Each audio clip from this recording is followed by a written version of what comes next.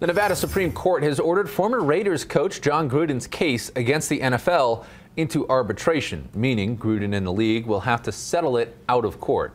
The coach resigned from the Raiders in October of 2021 after racist and misogynistic emails became public. Gruden then sued the NFL, accusing Commissioner Roger Goodell of leaking those emails.